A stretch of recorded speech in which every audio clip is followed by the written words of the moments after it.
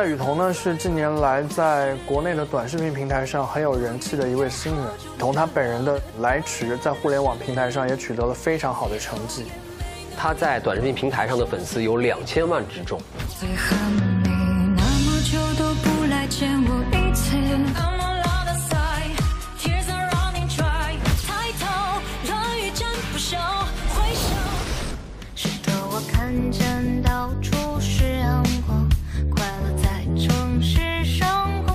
猫是在国内非常有人气的民谣女子组合，她们清新的气质还有邻家女孩的模样，受到了很多人的喜欢。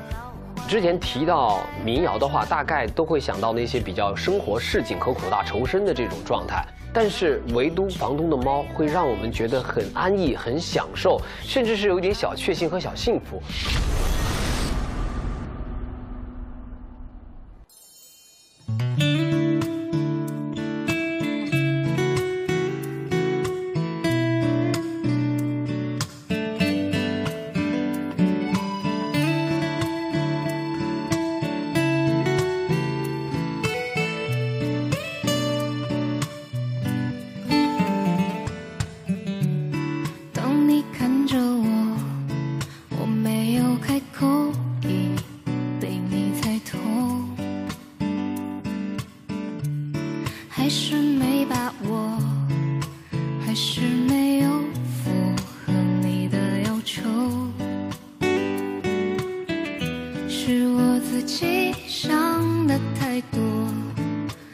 为什么？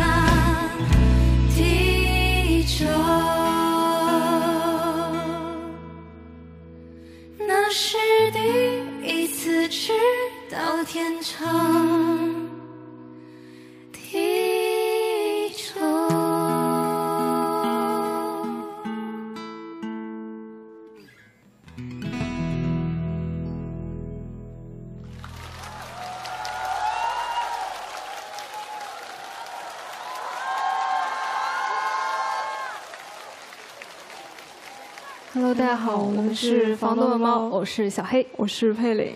Hello，大家好，我是戴雨桐。啊，我我非常的激动，然后因为我看到这么多，在电视上才能看到的大歌星，很开心被称为歌星。因为我是第一次来，以前都是在电视上看天赐，所以我现在感觉就是呃又不真实，但是又很激动，同时也非常的希望能表现好这样的一个心情。刚刚的呃整个歌，我觉得氛围感非常的满，会有一种甜蜜的美好在这个歌声当中。然后还有就是，我觉得天赐的声音今天今年这个舞台上，呃，多了很多自媒体上的歌手。我觉得其实现在在自媒体的上的音乐人有很多很多优秀和出色的啊、呃音乐人。然后戴雨桐，你来节目前我们都有看一些数据哈，其实你在自媒体的平台有很多很多支持者。就今天到天色声音舞台上来，证明了自己是一个可以唱 live 的歌手，对。然后我觉得你的声音很好听，唱的也很好。谢谢。其实他自己的歌曲，其实有一首大家都很喜欢。啊，来迟。对，你可以唱一下给大家，我相信看节目的人一定会想起他。好，那我们请雨桐准备一下。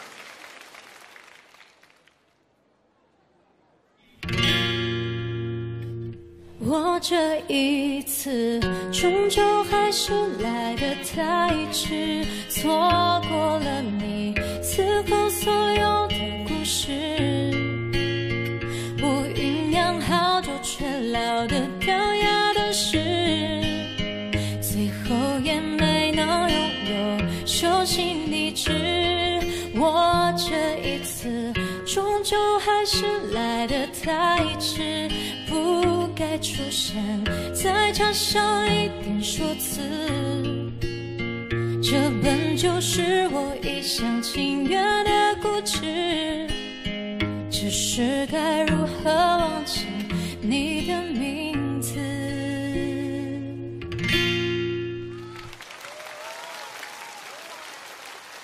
哦，很熟啊。听过的，他唱歌是非常通透的，音色是天生，天生就应该是唱歌的人。谢谢。呃对于雨桐来说，今天确实有太多的第一次。第一次来到天赐的舞台，第一次近距离看到你很多心目当中喜欢的歌手。那我想问一下，雨桐在你的音乐世界里面，让你印象深刻的第一次？啊、我觉得可能是啊、我第一次拥有一架自己的钢琴吧。嗯，对，因为我我们家其实是一个非常呃普通的家庭吧。然后我的爸爸他其实也是非常的辛苦，他他最多的时候一个人去扛过好几吨的那种袋子，对。对，然后就是我爸从小跟我说过一句话，他说他说别人是赚钱，你爸爸是苦钱。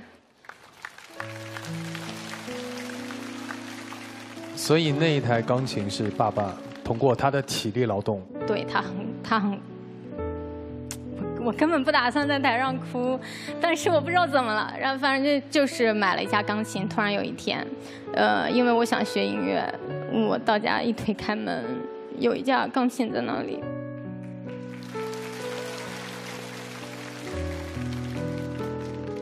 钢琴是你跟爸爸曾经提出的一个愿望吗？没有，我从来没有说过，就印象很深。我不知道抱抱抱抱一下你。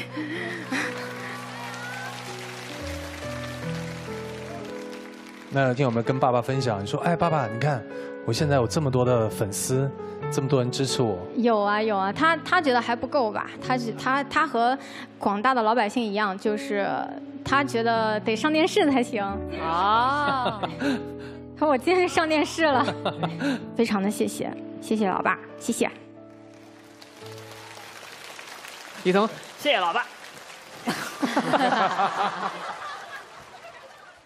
刚刚听到雨桐这一段话的时候，还有他的这个故事，我其实感触还挺多的，就让我自己想到当初就为了自己喜爱的歌唱，然后在家里搞了好多镭射唱盘，因为那时候就是大大碟，对，因为呃家庭的环境不是特别好，所以呢就是只能用自己的一些能力去想办法组装。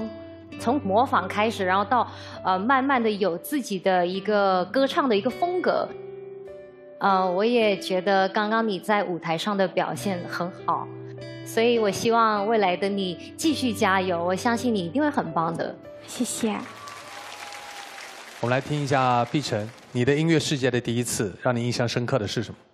我应该是第一次开演唱会吧。我记得我那个时候第一张专辑还没有做完。然后演唱会要唱二十三到二十五首歌，然后那个时候大部分都是翻唱，硬开那场演唱会是，就因为我觉得对于我来说这是一个我来到这个行业里的梦想。我一开始特别担心做不满，很怕，然后第一首歌出来唱的时候发现哎好像还可以，后来就越唱越开心，然后就会很期待明年再开演唱会是什么样子，所以。应该是我人生里面印象最深也最美好的一个片段吧。嗯。那我想问一下房东的猫，在你们的音乐世界里面有哪些第一次让你们印象深刻的？我们俩就是其实已经认识十年了，然后我们组合也成立九年了，就是有很多的第一次。一七一八年的时候，我们一起做了一首歌，然后那首歌，呃，是一首原创作品，叫《云烟成语》。然后后来被特别多的人听到，然后我们也因此，呃，多了很多演出，所以我觉得那首歌对于我来说是比较特别的第一次，因为像是我们音乐，呃，世界的一个节点一样。能不能在现场给我们带来也是你们印象当中非常深刻的第一次，就是那首歌，好不好？可以，好的。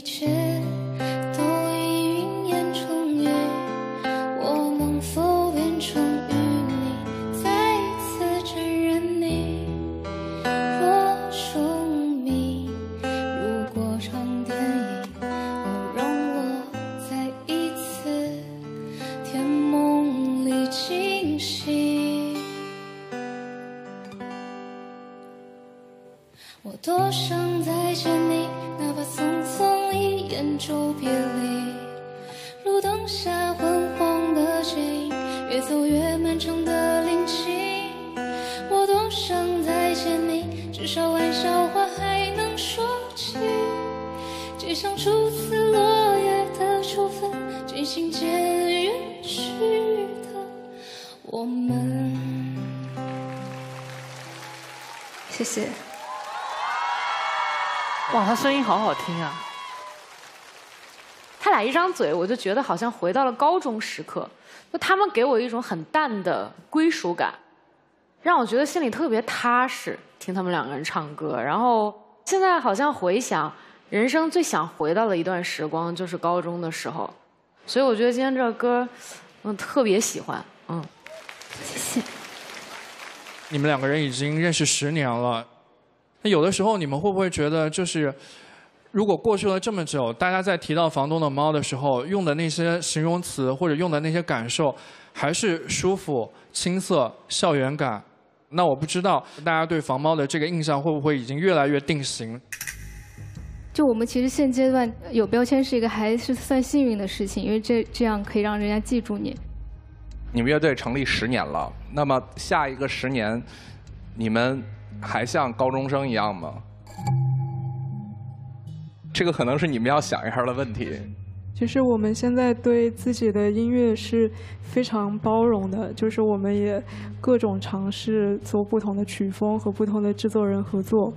去年的时候有发一张我们的 EP，其实那一张 EP 是涵盖了很多我们想做的风格，就是也有一些舞曲啊，然后 disco 啊。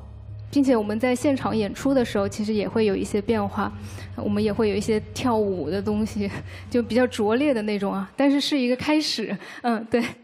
哎，我有一个案例可以分享。嗯。呃，我我在十年前应该是跟呃大张伟是同一家公司的，那个时候全公司的人就在说，大张伟在台上这样唱歌，十年以后他怎么办？但是他今天依然这样唱歌。对，因为他喜欢唱洗刷刷那样的歌。嗯，开心的。他他他那是他那是他真的自己，所以不用去想说这那个时候高中生还是什么，就是你只要内心 believe 那个那个东西就好了。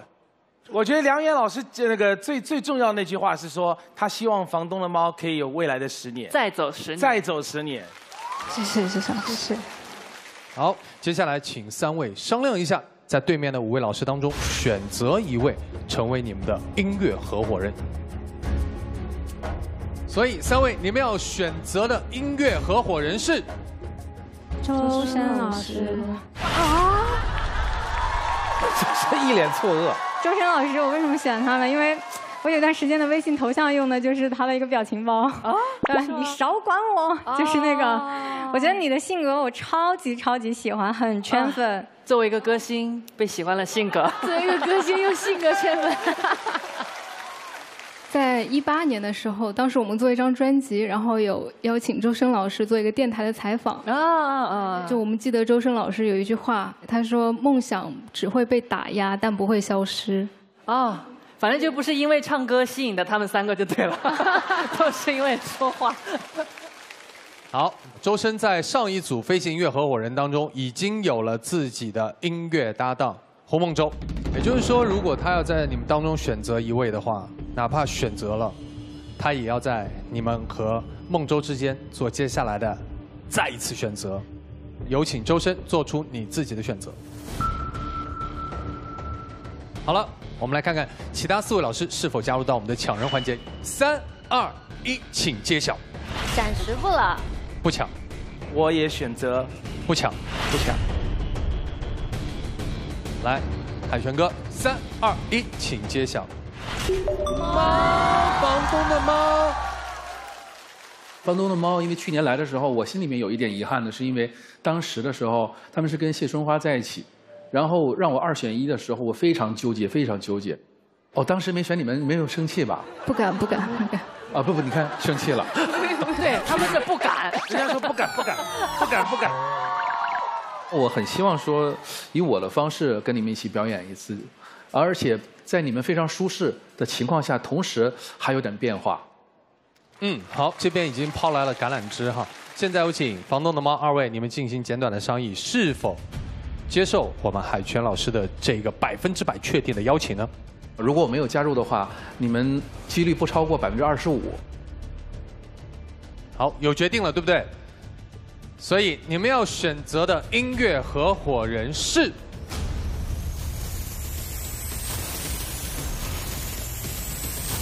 海泉老师，哇！恭喜房东的猫和胡海泉成为我们接下来下半场的音乐合伙人。